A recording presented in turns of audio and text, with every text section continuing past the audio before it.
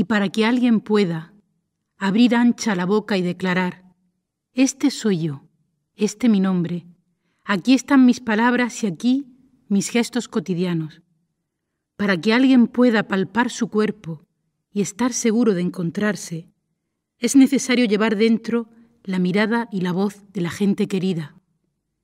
Bienaventurado quien es capaz de pedirle a otro, ven, de susurrar, gracias amigo, qué bien que estés tan cerca siempre. Bienaventurado asimismo el que en sincera y justa correspondencia sabe decir, tranquilo, no hay de qué, para eso estamos, compañero, claro que sí.